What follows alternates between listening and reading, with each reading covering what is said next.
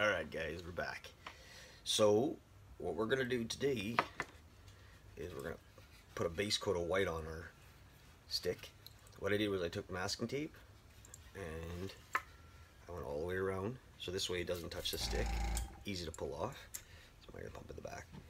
What we're going to use is some Wicked color it's called.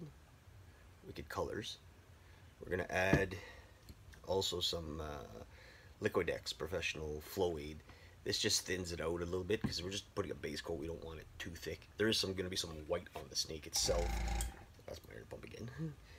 So what we're going to do is we're using the big cup and we're using, uh, it's the Neo Iwata. That's the only one I have. Um, I still would like to try one of those Grex ones, but they're expensive. Holy cow. One day. I always say that one day. Save up. So we're probably going to just fill the cup as much as we can because we got a lot of, not too full, maybe about halfway.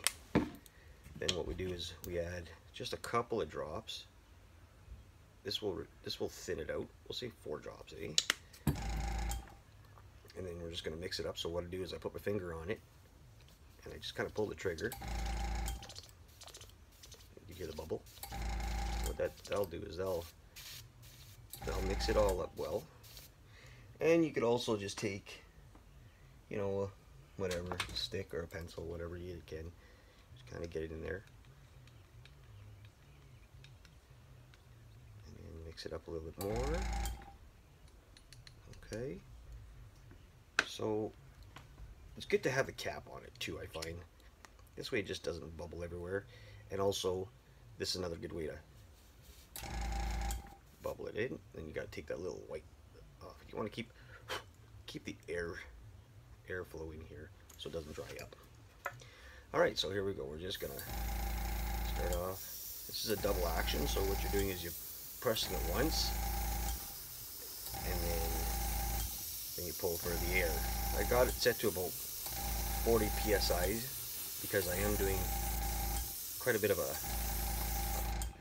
coat, so I'm okay to do throw a lot of paint at it.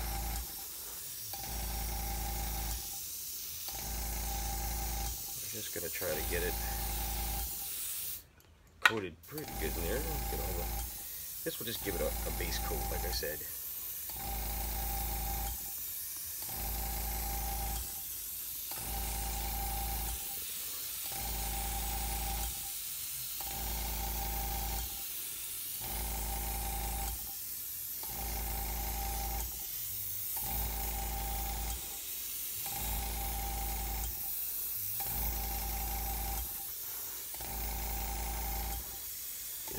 Bit.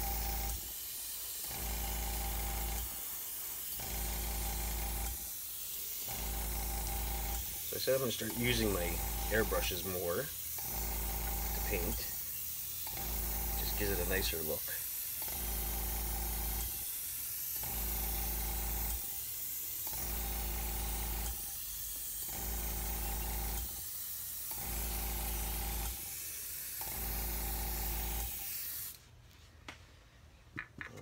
You can see that it's turning white. and also it's easy to add the paint with the airbrush. You get that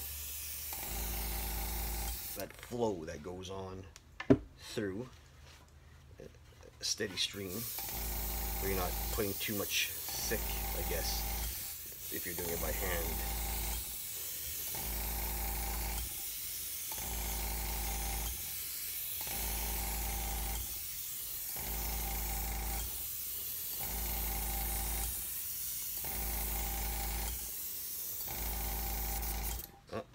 to the end.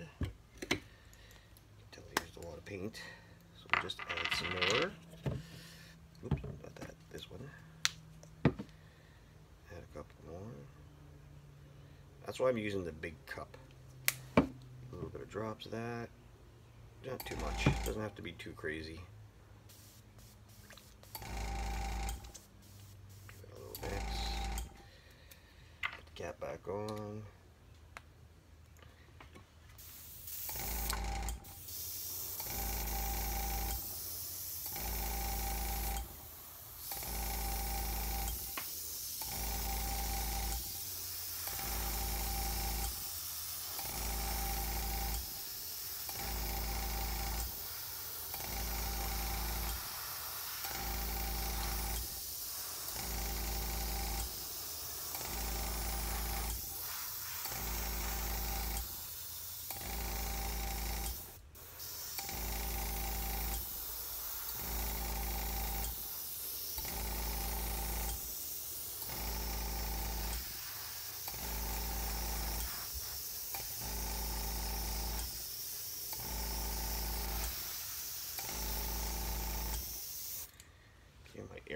Pump is runs quite a bit because I got it on a higher PSI.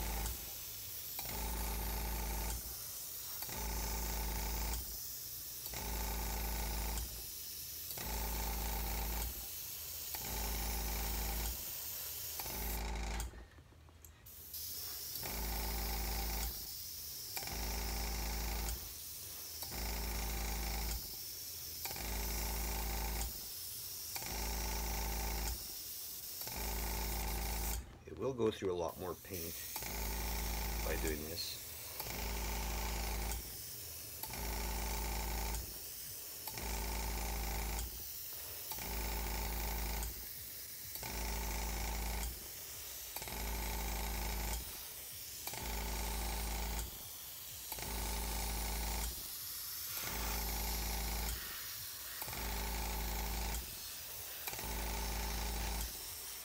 but it will look nicer. Tell once it starts sputtering, spitting. Oh no, it's not. Sorry, my mistake. What a big what a big problem is is they put this end cap on here, and with the air and the paint, the tip dries up very fast. It's funny. It's really weird how it works, but it does. So we just kind of we can take it off. It's not a big deal.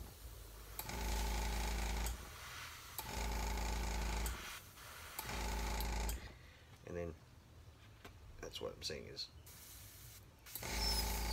there we go.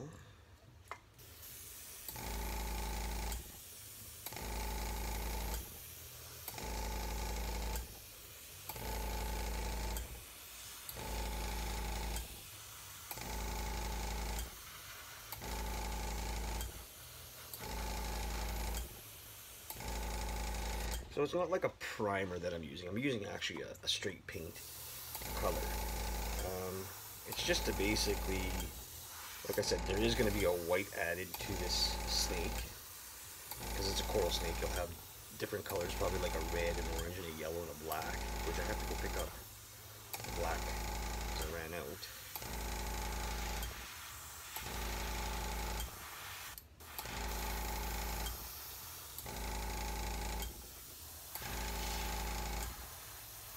see the difference it'll make.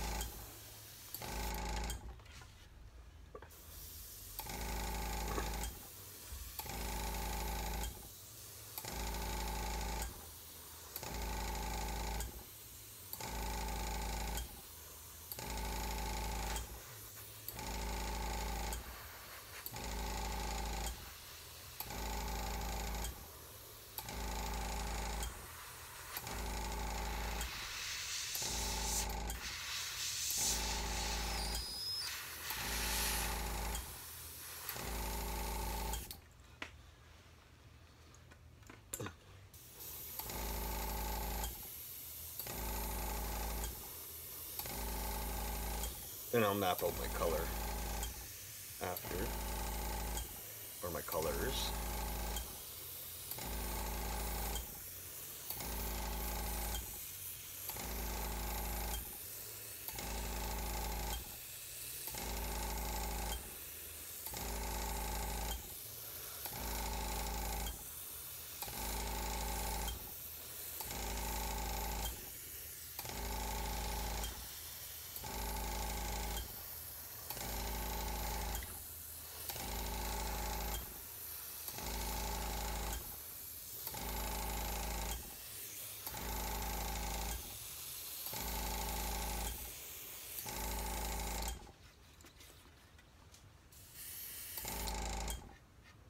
watch for it. It spits sometimes.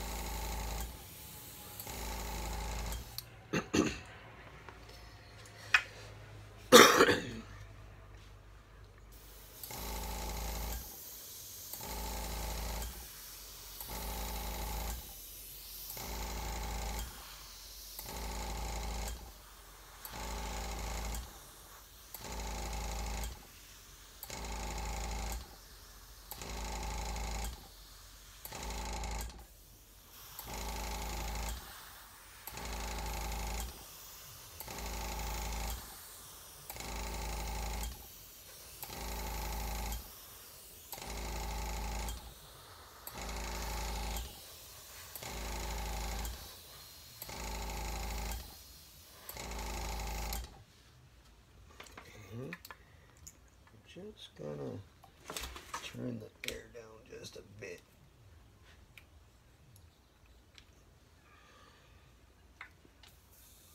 There we go.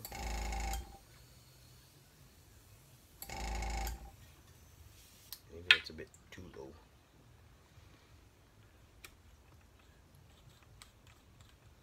There we go.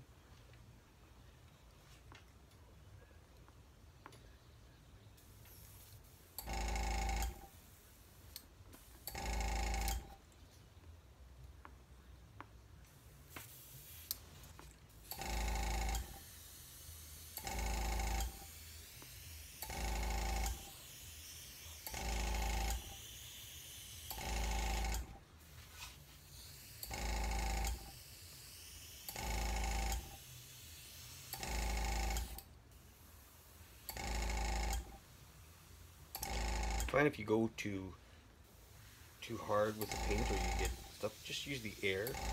Just sort of. This is a dual action, so when you press down, you get air. But if you pull back, you get paint. So if you have to, if you put too much on something, all you have to do is pull back a bit.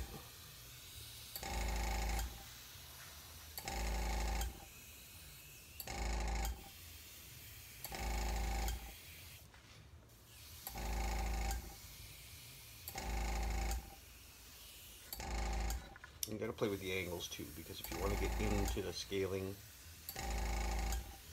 you have to sort of go at every angle.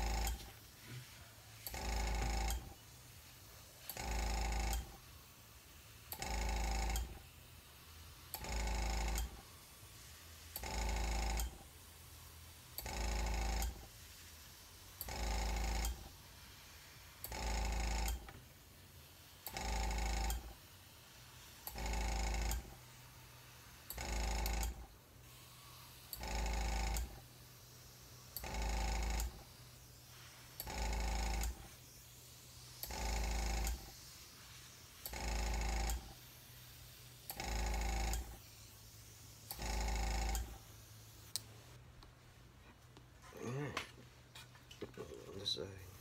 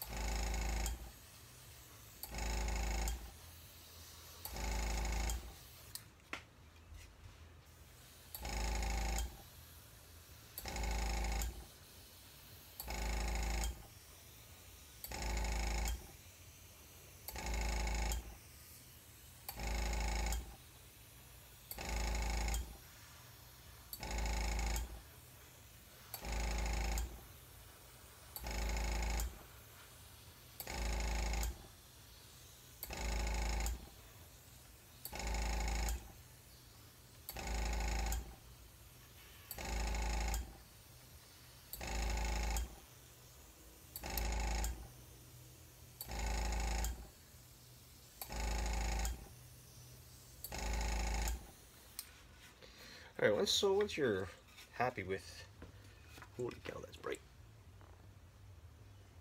Once you're happy with the color you put on it, or the, the base coat, uh, I would say let it dry for 10-15 minutes. Not even, this stuff is basically dries to touch, I find.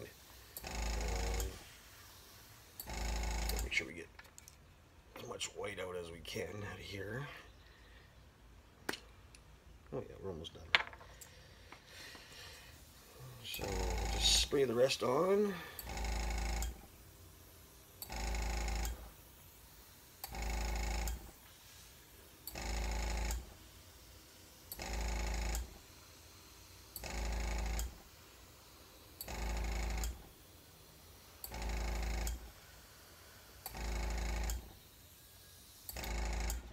Mm, we're pretty happy with it now. It's got all as much white as we can.